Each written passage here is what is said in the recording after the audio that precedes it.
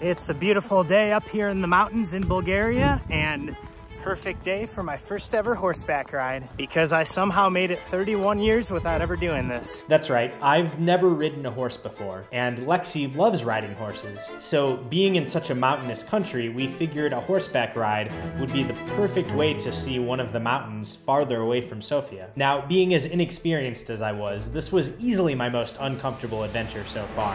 I had no idea what I was doing whatsoever. I'm still mildly terrified that the horse is gonna accidentally fall off off the cliff. Ow, ow, ow, ow, thorns. Ow. The guide for this thing was not helpful, not checking to make sure we're okay. I am all alone and lost. I'm a very unhappy horse here. So I should clarify something I said earlier. I technically have been on a horse before in Russia, but that was a super beginner thing where they have people walking alongside all of the horses to guide them. So as a rider, you don't really have to do anything, you just kind of sit there. I didn't expect this day in the Balkan Mountains to be quite that easy, but the website did say that this tour was suitable for beginners. So I figured there would be a few minutes of training, or at the very least, a helpful guide. Nope.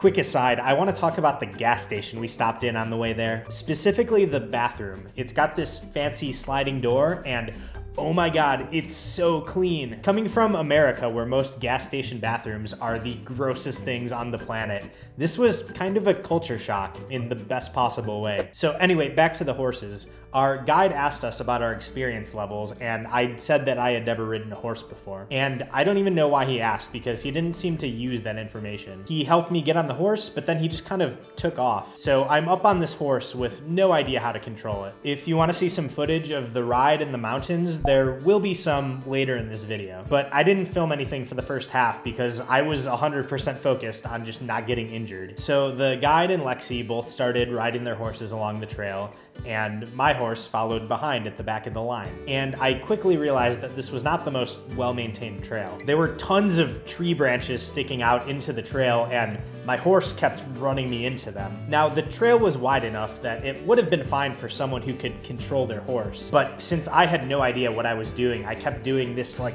duck and weave dance to avoid getting smacked in the face. But some of these branches were so big that they hit me no matter what I did. Luckily, I was wearing this hat and some sunglasses, which offered more protection than you'd think. What was more terrifying was the fact that a lot of this ride was on the side of a cliff with a really steep drop. So I was somewhat scared that I'd like unintentionally jolt the horse into walking off the side of the mountain. Or more realistically, that I'd get hit by an unfortunately placed branch and fall off myself. Throughout all all of this, Lexi, who was a little bit ahead of me, kept shouting instructions back to me. So I was literally learning the basics of riding a horse while constantly trying to not get hit in the face. I also didn't pick up on like half of what she was saying through a combination of not being able to hear her very well and being so focused on avoiding tree branches. So she had to keep shouting instructions back at me over and over. We were both making a lot of noise that the guide could clearly hear, but Throughout all of this, he just didn't give a shit. He was in his own world, on his phone the whole time,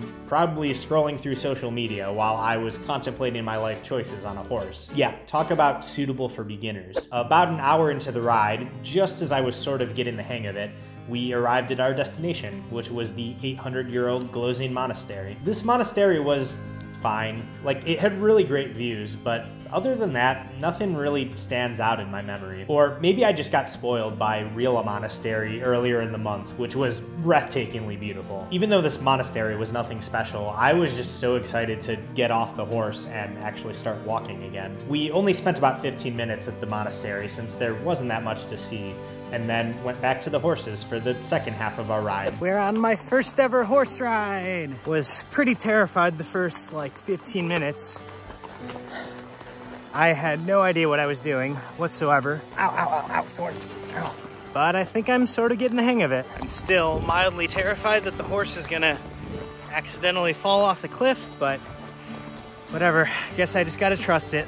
I wouldn't say that I was super comfortable on the horse yet, but I was comfortable enough at times to pull out my phone and start taking videos. And I'm really glad I have these to look back on because the trail and the surrounding scenery were incredible to look at, especially on this perfect sunny day.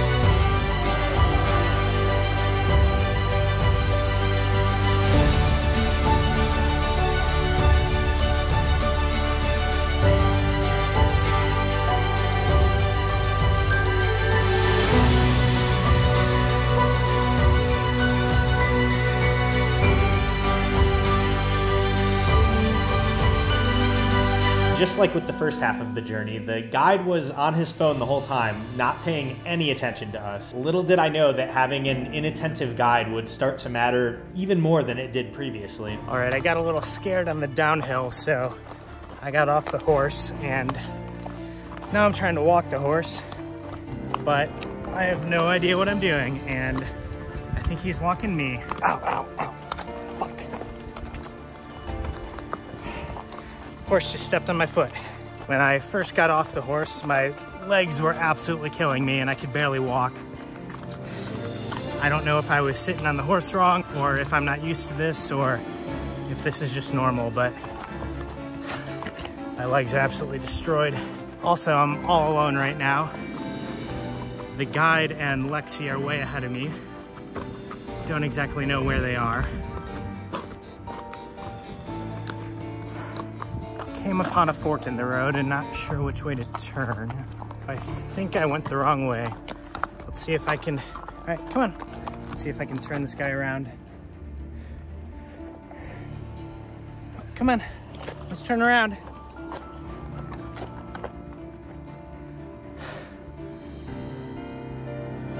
The guide for this thing is absolutely not helpful.